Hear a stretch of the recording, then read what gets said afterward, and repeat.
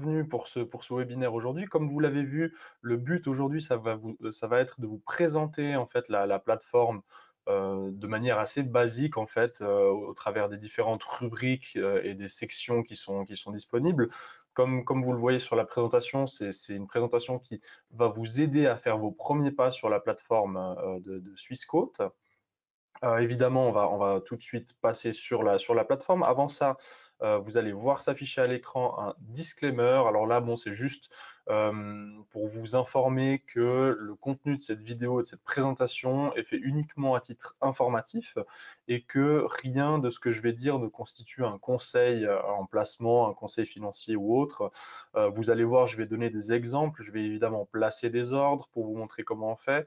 je vais peut-être donner des exemples à titre, à titre fictif voilà, qui pourraient amener à une décision d'investissement. Euh, donc voilà, tout ça est fait uniquement à titre informatif et fictif, euh, et rien de ce que je vais dire, encore une fois, ne constitue un, conseil en, placement.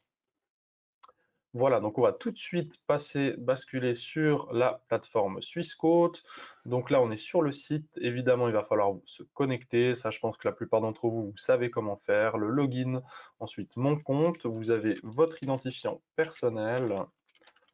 Voilà, et puis normalement, voilà, on arrive comme ça sur la, sur la plateforme Swissquote. Alors les plus attentifs d'entre vous auront vu qu'on m'a pas demandé de code de la carte Level 3, chose qui vous est normalement demandée.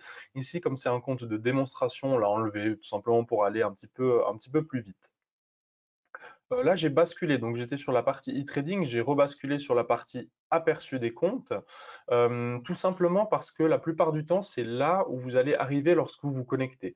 Donc vous vous connectez, vous arrivez sur cette page qui est votre aperçu du compte. C'est un petit peu euh, aussi la partie, on va dire, e-banking de votre compte où vous pouvez gérer les choses un petit peu plus administratives euh, finalement. Donc là, vous avez déjà un certain nombre d'informations. Vous le voyez au milieu avec la valeur totale, le pouvoir d'achat, la variation journalière du compte. Ici, mes comptes avec le compte trading que j'ai. Je vois que j'ai un compte Forex et CFD en attente. Euh, donc là, vous avez aussi la possibilité d'ajouter euh, des comptes gratuitement. C'est-à-dire que par défaut, vous avez probablement tous un compte de trading. Mais si vous êtes intéressé par les comptes de Forex, les comptes Investizy, les comptes troisième pilier ou autres, vous pouvez souscrire un compte gratuitement ici. Voilà.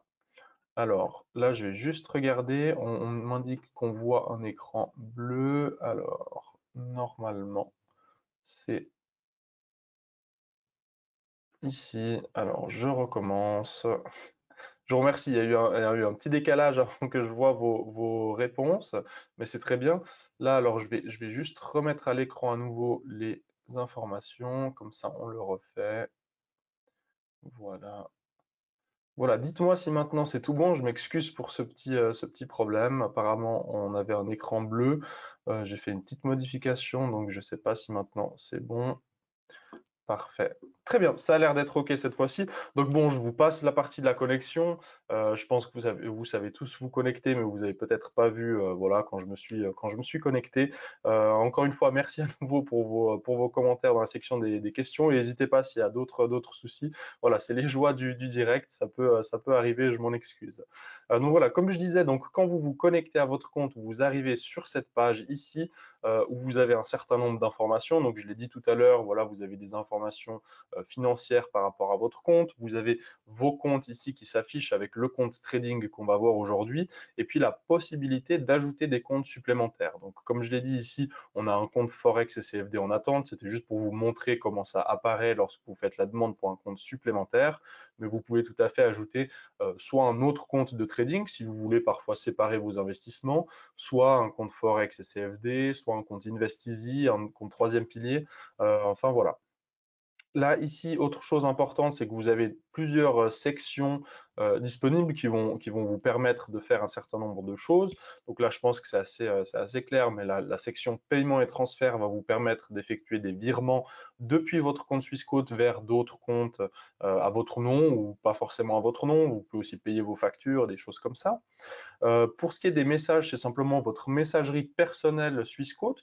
Donc dans cette section des messages, on va vous adresser des messages d'ordre euh, euh, généraux, c'est-à-dire, bon, parfois ça va être des, changements de réglementation, ça peut être des changements au niveau des frais, ça peut être des nouveautés aussi.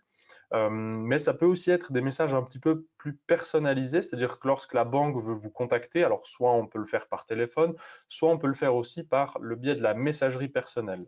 donc si on a un message à vous adresser, ça apparaîtra aussi ici. Pour ce qui est des documents, encore une fois, je pense que c'est assez simple, mais c'est simplement les, documents administratifs du compte. Ça peut être les relevés de compte de fin d'année, euh, les, performances du portefeuille, mais aussi, en fait, à chaque fois que vous allez passer une transaction sur le compte, que ce soit un achat, une vente, un ordre de change, lorsque vous allez recevoir des fonds ou envoyer des fonds, à chaque fois, vous allez avoir un document qui va être généré sur votre compte et qui euh, sera disponible sous la section des documents. Euh, pour ce qui est de la section découvrir, bon, ça vous amène sur la plateforme e-trading, chose qu'on va, on va voir maintenant, donc je ne vais, pas le, vais pas le détailler. donc là, on va tout de suite accéder à la plateforme de trading. C'est un petit peu ce qui nous intéresse aujourd'hui. Euh, donc, quand vous accédez à la plateforme de trading, vous arrivez sur cette page où il y a pas mal de, rubriques, euh, euh, effectivement. Euh, donc là, quand vous arrivez, vous êtes sur l'aperçu du compte dans le, sommaire. Et puis, vous, allez voir que je vais passer en revue un petit peu les différentes rubriques avec performance historique, transactions, etc. Et puis ensuite, ici, les, rubriques principales avec marché, inspiration, outils, espace de trading. Alors, vous allez le voir aussi, malheureusement, je ne vais pas avoir le temps de tout détailler. Euh, en tout cas, tous les outils ne seront pas détaillés aujourd'hui parce qu'on n'aurait pas le, temps de le faire. Euh, mais je vais aller de manière générale sur, les différentes euh, sections disponibles et ce qu'elles permettent de faire. Euh, j'en profite également pour vous ramener à nouveau sur la section des questions. Je prendrai 5 à 10 minutes à la fin de la présentation pour répondre aux éventuelles questions. Donc, si, vous avez des, questions sur des, choses que je présente ou sur, des points qui ne sont pas clairs, n'hésitez pas à les poser dans la section des questions et j'y reviendrai, j'y reviendrai à la fin. J'essaierai de prendre 3 ou 4 questions et d'y répondre. Voilà, donc on passe maintenant à la, présentation de cette partie e-trading. donc quand vous arrivez, comme je l'ai dit, vous êtes dans l'aperçu du compte et le sommaire. Donc là, à nouveau, vous avez un certain nombre de données financières sur le compte avec le pouvoir d'achat, euh, la variation journalière et la performance absolue du compte, ainsi que la valeur totale. Là, vous avez un détail sur le pouvoir d'achat. Donc là, on nous dit qu'on a le, pouvoir d'achat est constitué de cash euh, uniquement. Donc là, on a, on a 4447 francs suisses de pouvoir d'achat. Donc c'est ce qui nous reste sur le compte pour investir. On voit qu'il y a effectivement une différence entre la valeur totale à 5300 et le pouvoir d'achat à 4400. Ça veut dire qu'on a à peu près 1000 francs qui sont investis quelque part, comme ils ne font pas partie de notre pouvoir d'achat. Pour la section suivante, bon, c'est une section pour la performance qui détaille la performance journalière de votre compte ainsi que la performance absolue depuis une certaine date. En l'occurrence, ici, c'est euh, la performance depuis le 1er janvier 2022 sur ce compte. À savoir que par défaut sur vos comptes, la date de performance, c'est euh, évidemment la date à laquelle vous avez ouvert votre compte. Ça, vous pouvez le changer. Je vous montrerai tout à l'heure comment changer la date de, performance de votre compte. C'est vrai que parfois, on a, des, clients qui aiment bien changer, mettre ça au 1er janvier de chaque année pour voir euh, chaque année euh, quelle est leur, performance. Là, on est un petit peu en retard. On est au 1er janvier 2022, mais je vais le changer tout à l'heure. Je mettrai au 1er janvier 2024 pour voir, comment on trouve ça. Ensuite, pour ce qui est de la valeur totale, bon, c'est une répartition de la valeur totale du compte. Donc là, on voit qu'on a un solde des liquidités à 4447 et puis des titres pour une valeur de 922 francs. Là, on a une ligne avec valeur des crypto-monnaies qui est à zéro parce qu'on n'a pas de crypto-monnaie. Mais euh, voilà, vous pouvez avoir plusieurs lignes comme ça qui apparaissent avec la répartition de, ce que vous avez, euh, donc la répartition de votre valeur totale. Pour ce qui est de l'augmentation potentielle de votre pouvoir d'achat, je ne vais pas le détailler, mais c'est simplement la possibilité pour vous de demander un crédit lombard. Euh, donc, pour ceux qui ne connaissent pas le crédit lombard, qu'est-ce que c'est? C'est simplement un crédit qui vous est octroyé contre le gage de vos titres. Donc, vous, vous allez mettre en gage vos titres, et puis nous, on va vous prêter, ça peut aller de 20 à 70% selon les titres que vous avez, de la valeur de votre portefeuille. Euh, donc voilà, certains aiment bien des fois utiliser euh, cet effet de levier, entre guillemets, de mettre en gage leur portefeuille pour avoir des, fonds supplémentaires qui leur sont euh, octroyés. Pour ce qui est de l'allocation, c'est un petit peu la même chose que la valeur totale. C'est comment est réparti euh, finalement votre, votre compte. Donc là, on voit qu'on a 82% euh, en liquidité, on a 17% en actions, 0% en crypto-monnaie. Et puis, vous pouvez aussi avoir d'autres pastilles si vous avez d'autres types d'investissements différents. Pour ce qui est de ESG, alors je ne vais pas le détailler entièrement, mais c'est simplement le score ESG de votre portefeuille. ESG, qu'est-ce que c'est? C'est euh, des critères de, notation, donc c'est une manière de noter les titres que vous avez, et, c'est des, critères qui sont basés sur trois, euh, trois critères principaux qui sont euh, les critères environnementaux, sociaux et de gouvernance. Donc quasiment chaque titre que vous allez trouver, chaque action que vous trouverez sur euh, euh, notre plateforme aura une note ESG, un score ESG et voilà, vous avez un score global ESG de votre portefeuille. En l'occurrence, actuellement, il est de 95 sur 100, qui est plutôt un, bon score. et puis ça va varier selon les titres que vous avez. Euh, on voit que l'ESG, c'est quelque chose qui euh, aujourd'hui euh, tient de plus en plus à cœur aux investisseurs. Certains font des investissements avec des scores minimum ESG. E vous allez voir par la suite que vous pouvez faire des recherches de titres en vous basant sur certains critères ESG. Euh, pour ce qui est des trading credits, bon, je ne vais pas en parler aujourd'hui.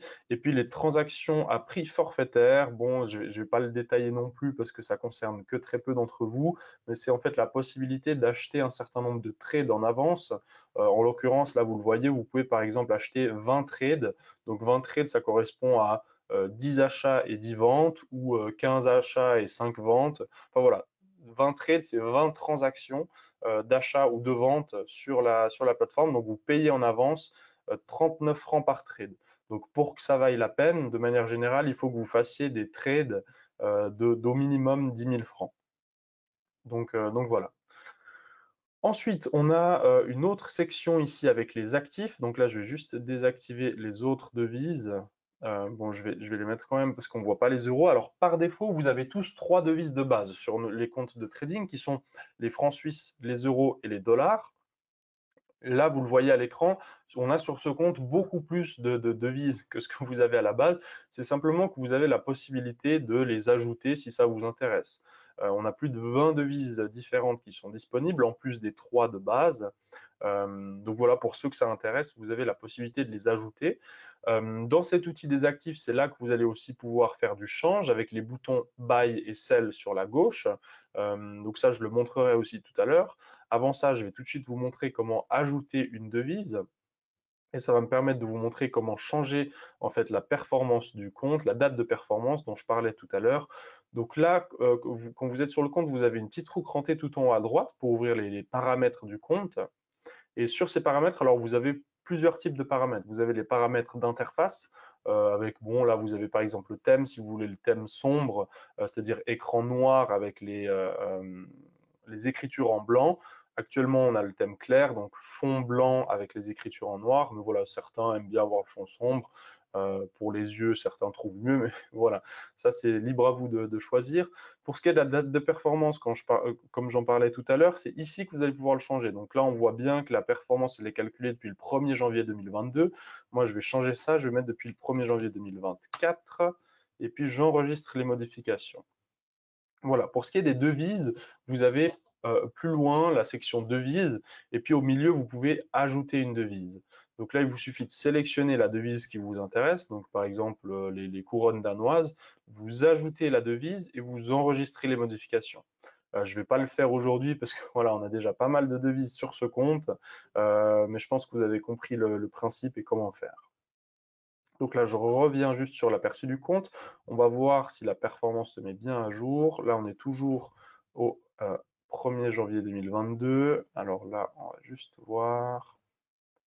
Normalement, elle se met jour. Voilà. Donc bon, là, ça m'a mis au 31 décembre 2023, mais c'est quasiment la même chose. Donc depuis euh, début 2024, fin 2023, on a une performance négative de 407 francs sur, euh, sur ce compte. Donc voilà, euh, ça vous permet de changer la, performance selon ce que vous préférez faire. Voilà, alors je reviens sur, sur la, partie des actifs avec les devises. Euh, donc là, on voit bon, les, différentes colonnes, je ne vais pas toutes les énumérer, je pense que c'est assez, euh, assez, intuitif. Euh, vous avez la troisième avec le solde en espèces, donc là je vois qu'en francs suisses, j'ai 3123 francs sur ce compte, et puis j'ai 1451 dollars. J'ai 0 euros, et puis d'ailleurs 0 dans toutes les autres devises. Donc là, je vais, faire un change, hein. je, vais, je vois que les euros, je suis à 0, mais je, compte acheter quelque chose en euros dans, les, dans les prochains jours. Voilà, il y a, quelques produits du marché, du marché européen qui m'intéressent, donc j'ai besoin d'un petit peu d'euros. On va, par exemple acheter 300 euros. Donc là, je vais acheter 300 euros, je clique sur le bouton d'achat à côté des euros. Ça va m'ouvrir cette nouvelle fenêtre où il y aura un certain nombre d'informations à notifier. La première, c'est le sens de la transaction. Donc là, je suis bien sur un achat. Le montant à acheter, comme j'ai dit, ça sera 300 euros. Et puis la devise à vendre, bon, on a des, francs suisses ou on a des dollars sur le compte. Donc là, c'est libre à moi de, choisir. Je vais plutôt prendre ça sur les dollars. Alors les dollars, voilà, ils sont là. Parfait. Voilà, donc je vais acheter 300 euros en vendant une partie de mes, de mes dollars.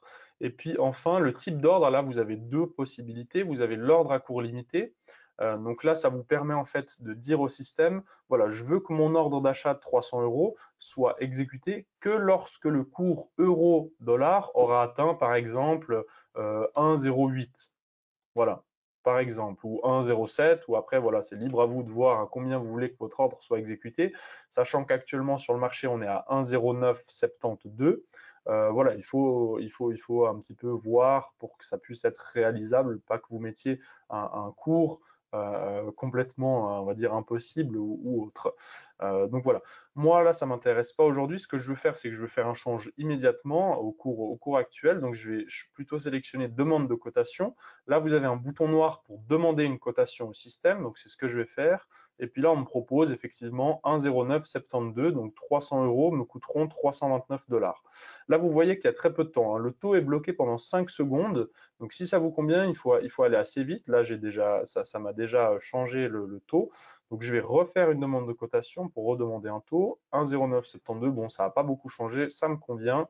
J'achète les euros. Voilà. Là, j'ai la confirmation que l'ordre a bien été exécuté. J'ai acheté 300 euros. Je clique sur effectuer et puis là, normalement, ça se met à jour en direct.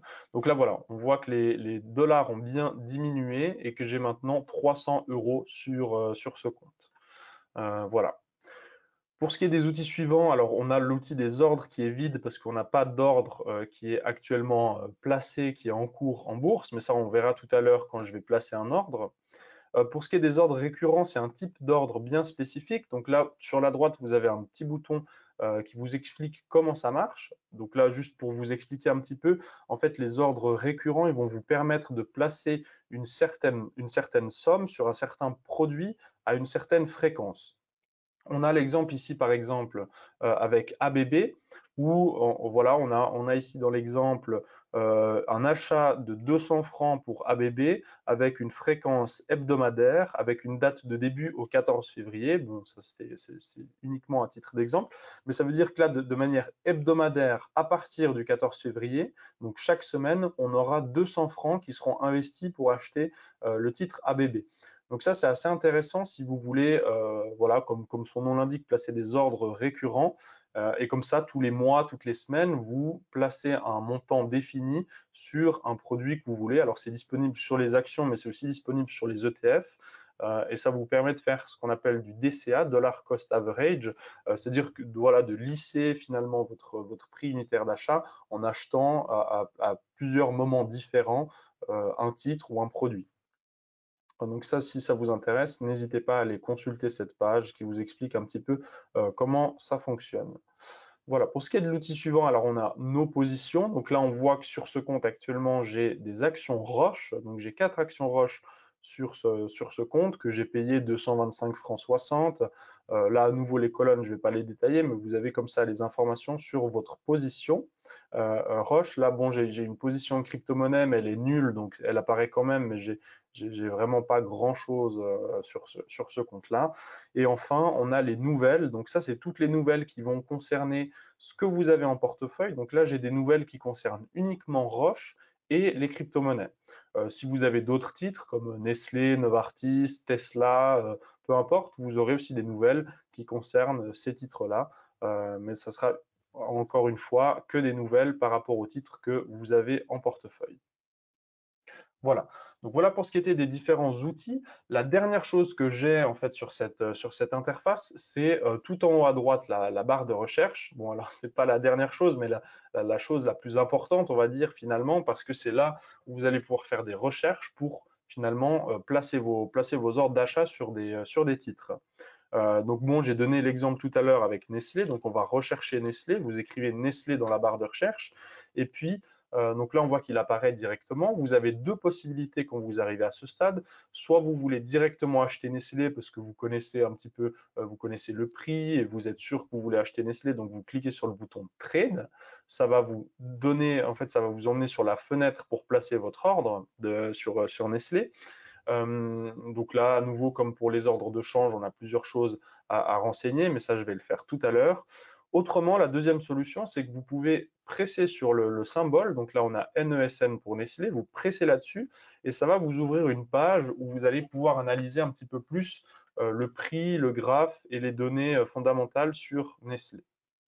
Donc là, vous arrivez sur cette page sur la gauche, comme je l'ai dit, on a les détails au niveau des prix. Euh, donc là, on voit que le dernier prix était à 92 francs 16 pour Nestlé.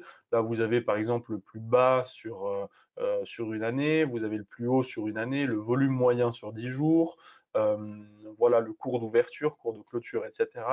Ensuite, les facteurs fondamentaux avec la capitalisation boursière, le montant de dividendes qui a déjà été payé cette année le, 22, le 24 avril 2024, le rendement sur dividende, etc., euh, la note ESG pour Nestlé, et euh, des, actualités qui concernent, euh, qui concernent Nestlé.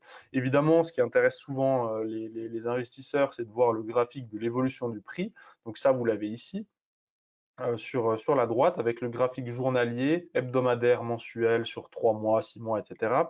donc là, on peut regarder par exemple sur 6 mois. Voilà, je vois que Nestlé à un moment donné, c'était à, 100 francs. On peut même regarder depuis le début de l'année euh, ou depuis euh, une année entière. On voit que Nestlé euh, baisse pas mal ces, derniers temps. En tout cas, depuis une année, la tendance est plutôt à la baisse. donc voilà, vous faites votre analyse, vous vous dites, ah voilà, donc ça peut être une bonne opportunité d'investir sur Nestlé ou peu importe. Et puis lorsque vous êtes prêt à placer votre ordre, vous avez le bouton Trade ici en haut à droite qui vous amène et qui vous affiche la même fenêtre que tout à l'heure. Donc là, à nouveau, vous avez une première partie euh, avec le détail des prix euh, de, Nestlé, avec le dernier prix à 92,22, et puis euh, la partie offre et demande avec les, acheteurs et les vendeurs à 92,20 et 92,22. enfin voilà, vous avez à nouveau un petit peu d'informations par rapport à Nestlé. Ce qui est important ici, c'est ce que vous allez vous devoir notifier dans le, système. Donc à nouveau, comme pour l'ordre de change, le, le, sens de la transaction, est-ce qu'il y a un achat ou une vente?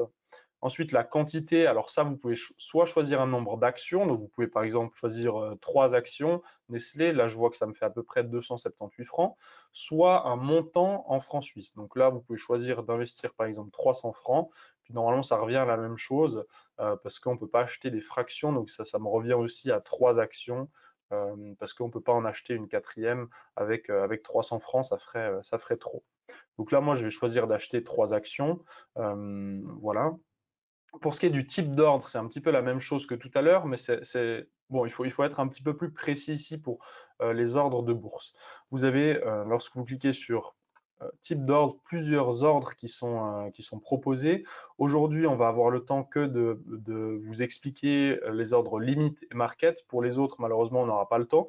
Je vous montre quand même l'ordre récurrent qui est disponible ici pour Nestlé. Donc, en pressant sur Recurring, c'est l'ordre récurrent dont je parlais tout à l'heure, où là, vous pouvez, voilà, comme je l'ai dit, passer un ordre d'achat sur Nestlé pour, voilà, on va remettre 300 francs de manière hebdomadaire toutes les deux semaines ou mensuelle à partir du 29 mai, donc de demain. Et donc ça veut dire qu'à partir du 29 mai, tous les mois, j'aurai un ordre d'achat qui va être placé sur Nestlé pour 300 francs. Donc on va acheter le maximum possible pour l'équivalent de 300 francs. Voilà. On va pas le faire, on ne sait pas ce qu'on va faire aujourd'hui. Aujourd'hui, alors pour cet ordre-là, je vais, je vais commencer par expliquer l'ordre limite. Donc l'ordre limite, contrairement à l'ordre market, vous voyez qu'il y a un prix à notifier. Donc là, l'ordre market, vous n'avez pas de prix, euh, tandis que l'ordre limite, vous avez un prix à mentionner. Euh, donc là, le prix que vous allez mentionner, c'est simplement le prix maximum d'achat que vous êtes prêt euh, à payer pour acheter les titres Nestlé. Sachant qu'actuellement, ça vaut 92,22 sur, le, sur, le, sur la bourse. Euh, sur le marché. Là, vous pouvez vous dire, euh, voilà, peut-être vous mettez un petit peu plus bas parce que peut-être vous pensez que ça peut descendre encore un peu. Là, j'ai vu que le plus bas sur une année, il était à 89,52. Donc, je me dis que bon, ça peut, ça peut encore descendre un petit peu. Moi, je ne veux pas l'acheter à 92. Je préfère l'acheter, par exemple, à 91. Donc, ça veut dire qu'il faudra attendre que le marché atteigne 91 francs pour que mon ordre puisse être exécuté. Enfin, vous avez la validité. Euh, pour que ça arrive à 91, ça peut prendre un certain, temps. Euh, ça peut prendre une semaine, peut-être euh, deux semaines ou voire plus. Donc là, vous allez pouvoir dire au système combien de temps vous voulez que votre ordre reste placé dans le carnet d'ordre, donc dans la bourse. Moi, là, je vais le laisser pendant une semaine. Donc, je vais laisser ça jusqu'au 4 juin. Ça veut dire qu'entre aujourd'hui et le 4 juin, si le prix du titre Nestlé descend à 91 francs, mon ordre sera exécuté. Si ce n'est pas le cas, le 4 juin, à la fermeture de la bourse, mon ordre sera supprimé du système et donc euh, je n'aurai pas mes titres Nestlé. Il faudra que je replace un nouvel ordre avec euh, soit le même prix, soit un autre, un autre prix pour que ça puisse correspondre au prix du marché. Donc là, je vais préparer mon ordre lorsque j'ai euh, tout rempli. Donc là, on me dit que le total estimé il est de 274 francs avec des frais de 1 franc 70. Là, ce sont des frais fictifs parce que c'est un compte de démonstration, à savoir que si vous faites un ordre de ce type sur votre, sur votre compte entre 0 et 500 francs, vous seriez autour des 5 à 8 francs de, frais plus ou moins pour ce type d'ordre. Donc là, ça me convient, donc je passe mon ordre. Là, j'ai la confirmation. On me dit, vous avez passé un ordre pour un montant total estimé de 274 francs, etc. Euh, enfin voilà. Là, je vais revenir sur l'aperçu du compte. Vous vous souvenez que tout à l'heure, mon, outil des ordres était vide, rien n'apparaissait. Là, on voit que dans ma, section principale, j'ai maintenant dans l'outil des ordres mon ordre sur, euh, Nestlé qui est, qui est là. Donc là, on voit bien que c'est un ordre d'achat pour trois actions a été placé sur le marché euh, suisse SIX avec un prix limite à 91 francs, euh, validité jusqu'au 4 juin. Et là, je vois que le statut de mon ordre est ouvert. Voilà, depuis la section des ordres, vous pouvez soit modifier votre ordre avec le crayon, soit le supprimer avec la corbeille. Mais là, par exemple, voilà, vous, voulez le modifier, vous voulez non, non plus, euh, non pas acheter trois actions, mais peut-être vous avez changé d'avis, vous voulez en acheter quatre, et puis vous êtes prêt à mettre euh, un petit peu plus. Donc au lieu de 91, vous êtes prêt à payer 92, par exemple. Donc là, j'ai fait deux modifications. Je presse sur modifier l'ordre je passe l'ordre. Là, je vois que le montant a augmenté. Euh, cette fois, on est, à, on est à 369, étant donné que j'ai ajouté une action supplémentaire. Mais là, on voit que le changement se fait immédiatement, où maintenant, j'ai mon ordre d'achat qui est placé pour 4 actions à un prix limite de 92. La validité, je ne l'ai par contre pas modifiée, mais vous pourriez éventuellement la modifier aussi. Donc voilà pour ce qui est de cette première section avec le, sommaire, donc l'aperçu du compte. On voit que c'est des choses assez, basiques, mais on a déjà un certain nombre d'informations qui sont euh, disponibles. Euh, on va maintenant voir les, autres, rubriques disponibles dans cet aperçu du compte. Euh, on va rapidement, le voir, je ne vais, pas le, détailler, mais je pense que c'est assez intuitif à nouveau ici. Pour ce qui est de la performance historique, c'est simplement un outil plus précis au niveau de la performance où vous avez deux méthodes de calcul de performance. Vous pouvez aussi changer la date ici pour voir un petit peu comment performe le, compte. Donc là, on peut remettre par exemple 2022. Euh, et puis là, ça modifie directement le, graphique. Donc on voit un petit peu ce que le, compte fait. Euh, donc voilà. Pour ce qui est des transactions, alors vous avez un détail de toutes les transactions qui ont lieu sur le compte, que ce soit un achat, une vente, euh, quand vous recevez des fonds, quand vous euh, envoyez des fonds, toutes les transactions euh, qui ont lieu sur le compte sont détaillées dans la section transactions. Donc là, on voit par exemple que aujourd'hui, on voit que j'ai mon ordre, que j'ai le, change que j'ai effectué tout à l'heure qui apparaît. Je vois que mes titres Roche que j'ai sur le compte, je les avais achetés en date du 13 mai 2024. Et puis, vous avez comme ça d'autres transactions. Là, on voit qu'il y a eu une vente de Nestlé le 8, euh, le 8 mai. On a eu un achat de Bitcoin. On a eu, euh, voilà, pas mal de transactions qui ont été faites. Euh, mais vous avez tout le détail qui apparaît avec la date. Et puis, voilà, combien vous avez payé, quels étaient les frais, etc. Pour ce qui est de l'historique des ordres, pardon, c'est assez similaire, sauf que là, c'est uniquement les ordres que vous allez placer, donc les ordres de change et les ordres de bourse, donc achat et vente de titres. Euh, là, on voit à nouveau l'ordre de change qui apparaît avec le, crédit de 300 euros et le débit de 329 dollars que j'ai passé tout à l'heure. Euh, mais contrairement aux transactions, ici dans mon historique des ordres, j'ai quand même l'achat des Nestlé qui apparaît. Il n'apparaît pas dans les transactions parce que l'achat ne s'est pas encore fait. Euh, je n'ai pas encore été exécuté. Par contre, il apparaît dans mon historique des ordres parce que c'est un ordre que j'ai quand même placé. Donc même si l'ordre aboutit pas, si votre ordre n'est pas exécuté, vous le verrez quand même apparaître dans l'historique des ordres parce que voilà, l'historique des ordres. Ici, le but, c'est de vous montrer ce que vous avez fait sur le compte en termes d'achat et de vente, ou en tout cas d'ordre placé. Voilà, pour ce qui est des documents, alors ça on l'a déjà vu au début de la présentation, c'est la même rubrique que vous aviez tout à l'heure dans l'aperçu des comptes, avec ici voilà tous les documents qui sont générés pour les, transactions. Euh, des fois, ça prend un petit peu de temps. Je, vois par exemple que les, documents pour le, change n'ont pas encore été produits. Ça prend en général une quinzaine, vingtaine de minutes à être, à disponible, mais j'ai les autres documents. Euh, là, je vois un avis de bourse le 13, le 13 mai. À mon avis, ça correspond à, l'achat des titres, des titres Roche dont je parlais tout à l'heure. Voilà. Pour ce qui est de la section ESG, euh, c'est un détail un petit peu plus précis sur le score ESG de votre portefeuille. On vous explique aussi dans cette rubrique ce que c'est que ESG. Donc, ceux que ça intéresse, je vous invite simplement à consulter cette rubrique où vous avez une FAQ où voilà, on vous, explique ce que signifie ESG, comment la note est calculée, etc. Si vous descendez un petit peu plus sur cette page, vous avez déjà une proposition de produits à acheter euh, avec les meilleures notes dans les critères environnementaux, sociaux et de gouvernance. On voit par exemple que dans le domaine social, Roche a une très bonne note avec 98 sur 100. Donc voilà, ça peut aussi vous donner des idées euh, euh, en se basant sur, sur ces critères ESG. Donc voilà, pour ce qui est de l'outil Corporate Action, je ne vais pas le détailler, mais les Corporate Action, c'est en fait les, les opérations sur titre. Il faut savoir que euh, parfois, voilà, vous allez investir dans une société, puis cette société va euh, euh, décider parfois de, faire une opération sur titre. Donc ça, ça va être tout ce qui est des fusions, ça peut être des augmentations de capital, ça peut être des dividendes spéciaux. Enfin, voilà, il y a énormément de, de types d'opérations sur titre qui sont possibles. donc vous, en tant qu'investisseur, en tant qu'actionnaire d'une société, vous êtes parfois amené à prendre une décision. Dans le cadre d'une augmentation de capital, par exemple, lorsqu'une société émet de nouvelles actions, vous, en tant qu'actionnaire, vous avez un droit prioritaire d'achat sur les nouvelles actions émises. Donc, on va vous faire parvenir un message dans cet outil Corporate Action pour vous demander si vous êtes intéressé à euh, souscrire au droit préférentiel d'achat sur les nouvelles actions émises. Et puis là, vous aurez ici voilà, des choix à faire. Soit vous acceptez euh, l'offre d'augmentation de, capital et donc d'achat d'actions à, prix préférentiel, pardon, soit vous refusez l'offre. Mais voilà, vous aurez ici une notification et donc ça, c'est uniquement pour les titres que vous détenez. Évidemment, on ne va pas vous envoyer des opérations sur titre pour les titres que, vous n'avez pas. sinon, vous vous retrouviez avec quand même énormément d'opérations sur titre ici.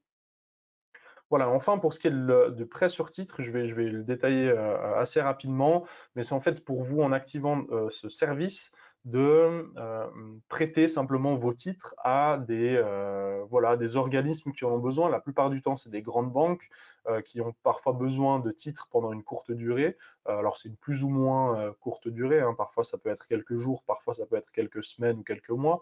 et donc, ils ont besoin de vos titres parfois pour ça peut être des soucis de comptabilité, de settlement euh, ou, des, choses comme ça. Des fois, c'est aussi, aussi pour faire du, short selling. Mais euh, voilà, il peut y avoir plusieurs cas dans lesquels des, sociétés ont besoin de, titres pendant une certaine durée et ils vont, au lieu de les acheter sur le marché, ce qui coûterait bien trop cher, ils vont, ils vont voir si quelqu'un les propose en prêt et puis ils vont évidemment vous rémunérer contre le prêt de, vos titres. Alors la rémunération va dépendre de la durée, va dépendre du type de titre. On a des titres qui proposent une rémunération beaucoup plus importante que, d'autres. Euh, mais voilà, c'est un service supplémentaire qui peut parfois euh, euh, vous apporter aussi des, revenus passifs mensuels supplémentaires. Donc ceux que ça intéresse, je vous invite simplement à consulter cette rubrique ici où on vous explique à quoi ça correspond que le prêt sur titre. Donc voilà pour ce qui est des différentes rubriques ici dans l'aperçu du compte. On va maintenant passer à une rubrique que euh, j'apprécie particulièrement parce que, euh, en fait, quand vous n'avez pas forcément d'idées d'investissement, c'est une rubrique qui va vous aider à rechercher ou à trouver des idées d'investissement. Et donc ça, c'est l'outil euh, ici, la section marché où donc quand vous arrivez là-dessus, bon, vous avez déjà un aperçu quotidien avec un certain nombre d'informations sur ce qui se passe euh, dans les marchés mondiaux, donc le marché suisse avec le SMI, le DAX, marché européen, euh, Nasdaq pour le marché US, etc. Vous avez même des informations par rapport au pétrole, par rapport aux crypto-monnaies, par rapport à l'or, par rapport aux devises, enfin voilà. plus bas, vous avez des nouvelles avec le morning news qu'on fait tous les matins. Vous avez aussi un fil d'actualité, etc. Donc ça, ça vous, voilà, si vous voulez voir un petit peu ce qui se passe dans le monde et dans la bourse de manière générale tous les jours, vous pouvez vous rendre dans cette section et puis on vous, explique un petit peu ce qui se passe. Donc vous avez un certain nombre d'informations. Euh, ce qui est intéressant aussi, c'est sur la gauche vous avez cette euh, euh, liste déroulante ici, avec soit les régions mondiales, donc si vous voulez faire des recherches sur le marché suisse, marché US, allemand, etc., ou des recherches par rapport à des produits. C'est-à-dire, voilà, je ne sais pas, peut-être vous avez dans l'idée d'investir dans des obligations, mais vous ne savez pas exactement lesquelles. Vous êtes en recherche d'une obligation, d'une ou plusieurs obligations. Euh, mais vous ne savez pas exactement. Là, vous avez dans les produits donc les obligations, vous faites une recherche, et puis dans la recherche, vous avez un certain nombre de filtres qui sont disponibles, qui peuvent euh, vous aider à affiner votre recherche, et puis comme ça, vous donner peut-être des, idées d'investissement euh, par rapport à votre, à votre recherche, par rapport aux filtres que vous aurez mis en place. Et c'est la même chose pour les fonds, c'est la même chose pour les ETF, c'est la même chose pour tout type de produits qui sont disponibles. Euh, voilà, moi ce que j'aime bien faire parfois, c'est regarder par rapport au marché. Euh, donc là, par rapport au marché suisse, par exemple, vous avez soit une vue d'ensemble, soit les gagnants, les perdants, les meilleurs chiffres d'affaires, meilleurs volumes, euh, les plus volatiles, etc. en général, moi je vais regarder les perdants parce que j'aime bien voir les sociétés qui sous-performent le, plus depuis, le, depuis le début de l'année parce que ça peut donner des idées d'investissement. Ça peut être le cas aussi avec les gagnants.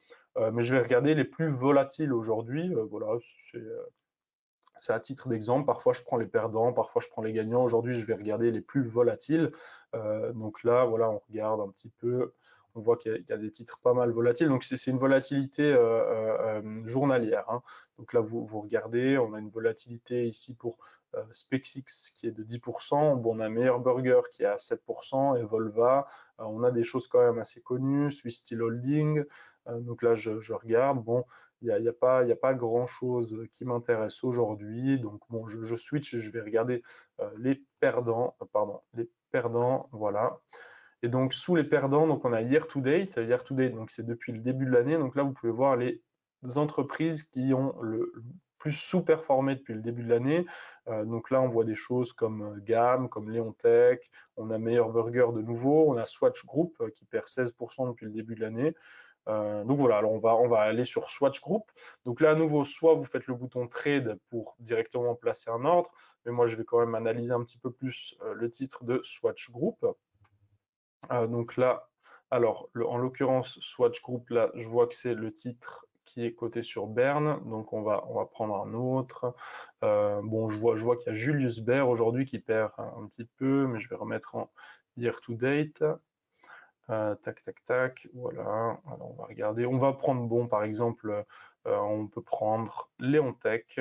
Voilà, on va regarder Léontech. On voit que Léontech, bon, ça, perd pas mal depuis le début de l'année. Ça, peut, ça perd 22% pour ceux d'entre vous qui connaissent Léontech. Donc, c'est un émetteur. Hein, c'est euh, voilà, c'est un émetteur. C'est un, société financière qui, euh, émet en fait des, produits financiers, notamment euh, des euh, produits structurés avec qui on est aussi, partenaire. Donc là, voilà, vous, analysez un petit peu la, société, Léontech, vous regardez le, graphique. Bon, on voit que sur les, trois derniers mois, quand même, on était à 29 à un moment donné, on est allé toucher les 23, et puis là, ça remonte à 26. Pour moi, voilà, vous pouvez estimer que ça va remonter à 29, voire plus. Euh, enfin voilà, vous, estimez qu'il y a un potentiel. Euh, après votre analyse, à nouveau, voilà, vous, le bouton trade pour placer l'achat. Et puis cette fois-ci, on va placer un ordre market sur, euh, sur. Donc on voit que j'ai aucun prix à renseigner. Là, on va prendre, on va prendre 10 actions Leontech pour à peu près 300 francs. Donc ici, voilà, à nouveau, le sens de transaction, c'est un achat pour 10 actions. Là, vous pouvez choisir un montant également, comme on l'a vu tout à l'heure. Et le type d'ordre, ce sera market. Donc market, qu'est-ce que ça veut dire? Ça veut dire que le prix du marché actuel vous convient. Donc actuellement, on est à 26,50. Moi, 26,50, ça me convient. Je vois que du côté des vendeurs, on a, on a plusieurs vendeurs qui proposent à 26,50. Il y a 547 actions qui sont proposées euh, à la vente à 26,50. Euh, donc moi, ce prix-là me convient. Je n'ai pas besoin de mettre une limite plus basse pour que voilà pour que mon ordre soit exécuté plus bas, ça me convient. Là, pour ce qui est de la validité, vous n'avez même pas besoin de changer la validité parce que lorsque vous placez un ordre market et qu'on a de la liquidité, ce qui est le cas, donc comme je l'ai dit, on a, on a des vendeurs sur le marché, quand vous placez un ordre market, vous allez être exécuté immédiatement. En général, c'est fait à ce prix-là. La seule chose à laquelle il faut faire attention avec les ordres market, c'est qu'il peut y avoir en fait une petite différence entre euh, le, prix que vous voyez maintenant et le prix d'exécution. Parce que entre le moment où je vais exécuter mon ordre, euh, entre le moment où je vais placer mon ordre et le moment où il sera exécuté, euh, il, peut, y avoir un petit changement au niveau du prix. Là, je vois que ça bouge pas énormément, donc je, me dis que normalement, je devrais avoir les titres à 26,50. Donc là, ça me convient. Comme j'ai dit, la validité, on n'a pas besoin de mettre. Je passe mon ordre. Voilà. Normalement, on l'a à 26,50 et je devrais avoir la confirmation assez rapidement. Voilà. Là, si je viens dans mon outil des ordres, on voit que j'ai bien placé un, ordre d'achat pour Léontech pour 10 actions au prix du marché. Euh, là, le prix, euh, voilà, on n'a pas de, prix parce que c'était au marché et j'ai bien mon ordre qui a été exécuté. Là, si je vais regarder, j'ai bien été exécuté à 26,50 euh, sur les titres Léontech. Donc, c'était bien le prix que je voyais à l'écran du, côté, euh, du côté des vendeurs. Euh, donc voilà pour ce qui était de la section des marchés. Je ne vais, vais, pas regarder toutes les, toutes les sections. Alors, pardon, je vois que ça s'est déconnecté. Alors, à nouveau, on a un petit souci technique. Je reviens dessus. Alors, on va restaurer la page. Voilà, je m'excuse à nouveau, la page s'est fermée toute seule, euh, mais on y revient. J'espère que vous voyez toujours tout à l'écran. Euh, si jamais, faites-le moi savoir dans les, dans les commentaires, et puis j'essaierai de, régler le souci, mais ça a l'air euh, d'aller. voilà, donc comme je disais sur la section des marchés, donc j'ai présenté qu'une petite partie. Là, là c'était uniquement à titre d'exemple que j'ai pris les perdants, mais en, comme je l'ai dit, vous pouvez tout à fait prendre les gagnants, les meilleurs chiffres d'affaires ou autres, ou faire des recherches par produit directement. Euh, donc là, il ne faut, vraiment pas hésiter à se balader un petit peu, à voir ce qui se fait, voir ce qui est disponible. Euh, ça peut vous donner des idées d'investissement et vous n'avez aucun risque euh, à, vous, balader là-dessus, si ce n'est que d'apprendre un petit peu plus à utiliser la, plateforme ici avec la section du, marché. une autre section qui peut vous aider à trouver des idées d'investissement, c'est ici la, section inspiration. Donc vous avez deux rubriques dans cette section inspiration, soit inspiration ESG, euh, e donc vous pouvez faire des, recherches basées sur les critères ESG. Donc là, vous sélectionnez par exemple un certain nombre de valeurs qui sont importantes pour vous. Donc par exemple la réduction des émissions, les innovations écologiques, le bien-être des collaborateurs, euh, la responsabilité du produit et les droits humains, et puis la stratégie durable. Donc là, voilà, j'ai choisi quelques, euh, quelques valeurs. Là, je peux choisir des pratiques que vous voulez exclure de vos investissements. Donc, je ne veux pas d'entreprise active euh, dans le nucléaire, dans les armes et puis dans les produits agrochimiques. voilà. Alors là, en l'occurrence, voilà, très bien. Donc, ni les armes, ni le nucléaire, ni les produits agrochimiques. Et puis là, afficher les correspondances et puis là, on va me proposer un certain nombre de produits qui respectent plus ou moins en tout cas les critères que j'ai euh, définis. Euh, donc là, on a par exemple Nvidia, Apple, Microsoft, Tesla, Amazon, Facebook, etc. donc voilà, ça peut être une possibilité pour vous de faire des recherches. Donc là, je reviens sur inspiration. La deuxième section, c'est les thèmes trading. Donc là, les thèmes trading, qu'est-ce que c'est? C'est en fait des paniers de produits qui ont été créés par rapport à un thème. Euh, donc là, on le voit, vous avez par exemple la robotique et l'intelligence artificielle, euh, les géants de la tech, on a euh, Chine online, cybersécurité, donc là c'est tout ce qui est de la technologie. Ensuite on a un lifestyle avec les jeux vidéo, le métaverse, la fièvre du football, plus bas avec les investissements alternatifs et crypto, avec des certificats sur les cryptos. Donc ça peut aussi vous donner des idées d'investissement donc là, comme je l'ai dit, c'est vraiment des paniers qui sont créés par thème. Euh, donc là, si je prends par exemple la robotique et l'intelligence artificielle et que je vais dans les détails, là, vous pouvez voir en fait tous les, euh, euh, tous les titres qui composent ce portefeuille. Donc là, on a Emerson, on a ABB, on a voilà tous ces titres-là. Et puis vous avez en fait la, pondération de chaque titre dans le panier. Donc, ça, vous permet d'acheter le, panier global de thème trading ou alors de trouver des idées d'investissement. Je ne sais pas, par exemple, vous savez, euh, vous êtes intéressé à investir dans la robotique et l'intelligence artificielle. Alors, vous pouvez acheter le panier, mais vous n'êtes pas obligé d'acheter le panier. Vous pouvez voir dans les détails quelle euh, société le compose. Et puis là, au lieu d'acheter le panier, vous allez acheter uniquement euh, je ne sais pas, Nvidia par exemple, et comme ça vous, investissez dans des sociétés qui sont actives dans les thèmes euh, qui, vous intéressent. Donc voilà pour ce qui était de la section inspiration. Euh, je vais aller très vite sur les derniers, ça fait déjà un, bon moment que le webinaire a, commencé. pour ce qui est des outils, alors ça, je vous laisserai regarder de, votre côté plus en détail, mais pour, ce qui est des différents outils, bon, le, scanner, c'est à nouveau un, outil qui vous permet de faire des recherches euh, d'actions, de produits structurés, d'obligations de crypto-monnaie en, euh, en, mettant un certain nombre de filtres. Pardon. Euh, donc là, le type de produit, le marché, le secteur, l'industrie, pays, etc. et puis ça va vous proposer à nouveau un certain nombre de produits. pour ce qui est de la personal page, c'est pour vous la possibilité de créer des listes personnelles avec des titres que vous voulez suivre. En ce qui concerne les alertes, c'est lorsque vous souhaitez recevoir les alertes de prix. Euh, on l'a vu tout à l'heure, Nestlé, par exemple, actuellement, il est à 92 francs. Vous, vous voulez recevoir une alerte, par exemple, lorsque le titre atteint 90 francs. Donc, vous avez la possibilité de mettre ça en place. Et puis, l'alerte, elle est envoyée par, euh, par email.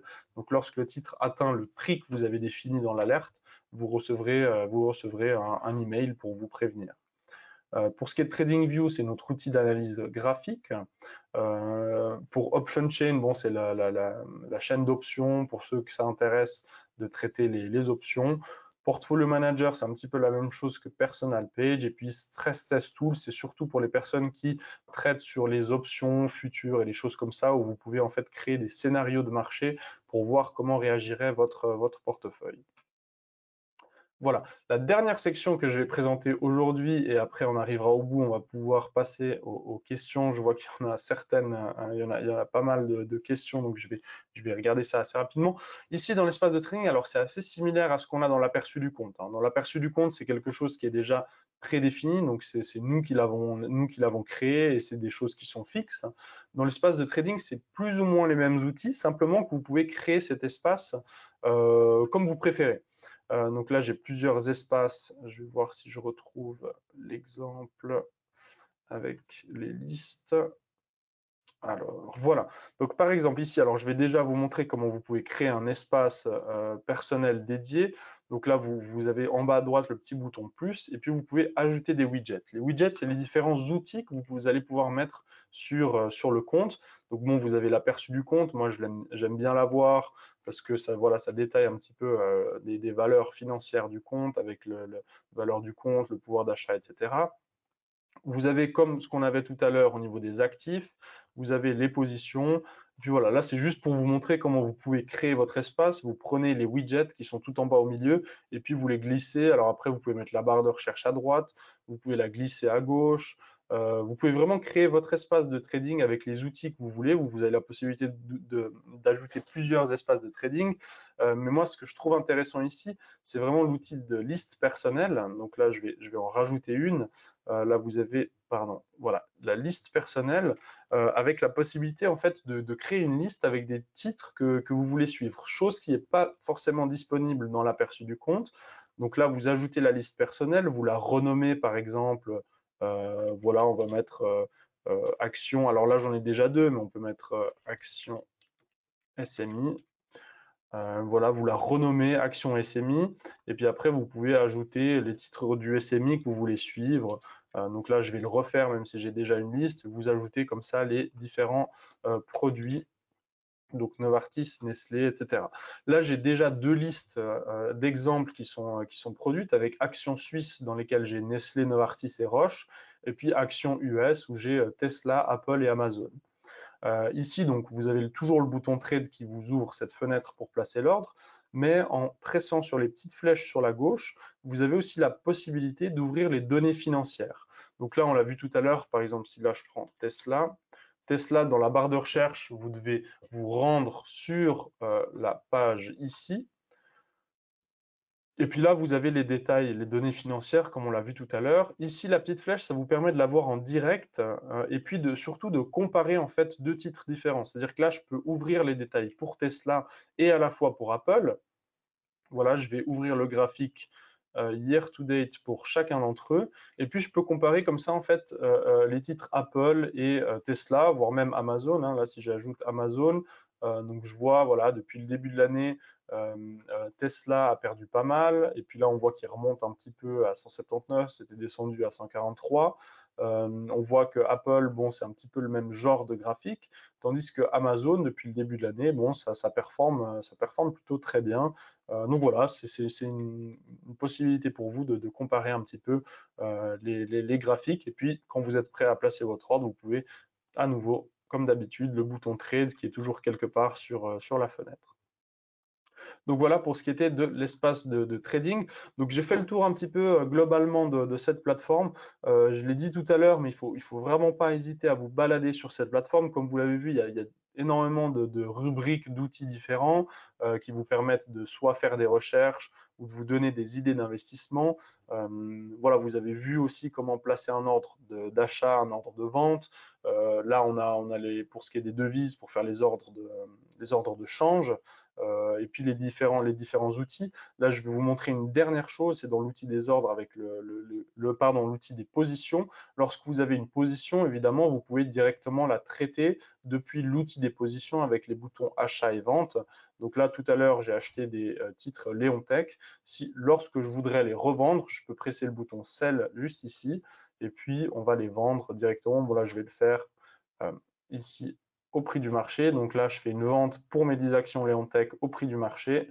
Donc là, je prépare mon ordre, je passe l'ordre et puis mon ordre normalement est automatiquement exécuté. Et puis là, je vois que ma position Leontech a immédiatement disparu de mes positions. Voilà. Euh, pour ce qui était de, cet outil des positions que je n'avais pas détaillé, donc je suis rapidement euh, revenu dessus. Donc, comme je disais, voilà, j'ai fait un petit tour de, cette plateforme. Euh, voilà, encore une fois, j'insiste là-dessus. Baladez-vous un petit peu, regardez ce qui est disponible. Et puis, si vous avez des questions, nous, on reste toujours à disposition pour, vous aider, pour vous aiguiller. voilà, donc on passe maintenant à la, section des, session des questions. je vois qu'il y en a eu un certain nombre. alors, je vais juste regarder. On a Jérôme qui nous demande à quoi correspond la devise XAU. Euh, donc là, en fait, le XAU, ça, correspond en fait à l'or. Euh, alors, ce n'est pas, exactement de l'or physique, c'est de l'or sous forme de certificat. Donc, euh, quand on parle d'or sous forme de certificat, c'est-à-dire qu'il est quand même adossé à l'or physique. Il y a quand même de l'or physique dans des dépôts qui, permettent finalement de, correspondre euh, aux positions en or que vous allez prendre. Mais le XAU, en fait, vous permet de faire des investissements dans, l'or. Je pense que vous l'avez vu euh, ici.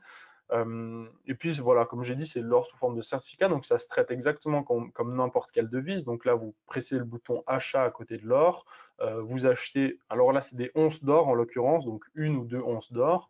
Là, vous demandez une cotation et puis là, on voit qu'une once d'or actuellement en francs suisses, ça vaut 2156 euh, francs. Là, vous pouvez l'acheter en dollars, par exemple, ou en euros, peu importe. Euh, on voit qu'en dollars, par exemple, ça... Alors là, voilà, je pense qu'il ne veut pas me le laisser en dollars. Voilà, parce que je n'ai pas les fonds suffisants en dollars. C'est effectivement... Voilà, en dollars, c'est vrai que j'ai moins que le minimum, donc je pourrais les acheter qu'en francs suisses. Mais voilà, pour l'exemple, vous pouvez tout à fait acheter de l'or contre vos dollars, contre vos euros, contre vos francs suisses, euh, peu importe. Mais, euh, mais, voilà. Donc en espérant que ça euh, réponde à la question, je vois qu'il y a d'autres questions qui ont été posées. On a, Ophélie qui nous demande euh, comment est-ce qu'on peut trouver les crypto-monnaies euh, chez Swissquote? Alors c'est vrai que j'en ai parlé rapidement, on a vu des achats qui ont été faits sur le compte. Euh, je pense que certains d'entre vous l'auront vu, mais vous avez ici en haut en fait la, section crypto assets avec un petit, un petit symbole de Bitcoin. et lorsque vous cliquez là-dessus, ça vous emmène sur notre plateforme dédiée aux crypto-monnaies. Donc quand vous arrivez là-dessus, vous avez la section marché tout en haut à droite. Et puis là, sous marché, vous avez vraiment la liste de toutes les crypto-monnaies disponibles chez Swissquote. Euh, donc le Bitcoin en premier avec l'Ethereum ensuite, etc. Donc vous avez plus de 20 crypto-monnaies différentes. Euh, et puis là, c'est exactement le même principe que pour les actions, pour les, autres titres. Lorsque vous voulez placer un ordre, vous pressez le bouton Trade. Et puis ensuite, voilà, comme j'ai dit, c'est exactement le même principe avec le type d'ordre, euh, combien est-ce que vous voulez en acheter, etc. donc, donc voilà. Très bien. Et je vais prendre une dernière question. Euh, alors. Très bien. Alors, tac, tac, tac. Ici, voilà. Alors, voilà, en fait, il y a pas mal de questions qui sont euh, assez détaillées, mais je vais, prendre plutôt des choses d'ordre général. Euh, alors, on a Théo qui nous demande, là il, y a plusieurs questions, voilà. Alors on a Théo qui demande, euh, en fait, lors d'un ordre market, si je comprends bien, donc l'ordre market, vous avez un prix qui est plus élevé. Alors, je vais, reprendre, hein. je, pense comprendre la question, mais effectivement, lorsque j'ai placé l'ordre market, alors c'est bon, très précis comme question, mais c'est vrai qu'il faut, il faut la poser. Euh, là, je reprends Nestlé, par exemple. Vous voyez que lorsque je passe un ordre limite, là, je vais donner l'exemple avec 10 actions. Lorsque je place un ordre limite, le montant total estimé, il est de 926 francs 20, ce qui correspond effectivement à 10 multiplié par le prix d'achat de 92,40 plus les frais de 2 francs 20. Mais c'est vrai que lorsque je place un ordre market, là, on passe tout de suite à 1000, 1018, alors que bon, le prix, il est de 92,40. Ça, en fait, euh, comme je l'ai expliqué, en fait, quand vous placez un ordre market, vous n'êtes jamais sûr exactement du prix auquel ça va être exécuté. On le voit à l'instant, ça vient de passer de 92,44 à 92,42, euh, ça bouge constamment. Et comme je l'ai dit tout à l'heure, lorsque vous placez un ordre market, entre le moment où vous allez valider votre ordre et le moment où il sera exécuté, il peut y avoir euh, voilà une petite différence. Là, là, je le vois à 92,42, mais lorsque je vais le placer, je vais peut-être être exécuté à 92,40 ou à 92,44. Parfois, il peut y avoir une, plus ou moins grande différence. Euh, c'est pour ça que dans le système, par mesure de sécurité, on bloque un montant plus important. Euh, il y a une marge d'à peu près 10%. Ça ne veut pas dire que ce sera ce montant-là qui vous sera euh, prélevé. c'est juste que voilà, le système calcule une marge, une marge sécuritaire pour l'ordre market, tandis que l'ordre limite, comme on est sûr euh, que l'ordre sera jamais exécuté à plus que 92,42. Là, on peut vous, dire que le total estimé, il est effectivement de 926, euh, parce qu'on n'a pas de raison que ce soit, soit au-dessus. Euh, donc voilà, en espérant avoir pu répondre à la question. donc on arrive au bout de ce webinaire. Je vais juste remettre ici, voilà, la présentation. Comme ça, vous avez l'adresse mail. Euh, donc, c'est l'adresse mail sqwebinar1.swisscode.ch. C'est normalement euh, de cette adresse mail-là que vous avez reçu la confirmation de participation à ce, webinaire. Il y a quelques questions qui sont en suspens. Malheureusement, elles étaient un petit peu trop euh, détaillées, un petit peu trop précises pour que je puisse y répondre aujourd'hui. si c'est des questions qui restent en suspens, n'hésitez pas à nous les faire parvenir à cette adresse mail, donc sqwebinar1.swisscode.ch. Et puis, on tentera d'y répondre. En tout cas, je vous remercie de votre participation à ce webinaire. Il y a eu pas mal de, questions. J'espère que le webinaire vous aura plu, et euh, pourra vous aider à faire vos, premiers pas sur, sur la plateforme. Euh, et puis à commencer à investir, à trouver des, idées d'investissement. J'insiste une dernière fois là-dessus, n'hésitez vraiment pas à vous balader sur la plateforme. Comme vous l'avez vu, il y a pas mal de sections disponibles. Euh, donc voilà, baladez-vous, prenez l'habitude de, l'utiliser et puis vous verrez que vous, deviendrez vite un, pro, du trading.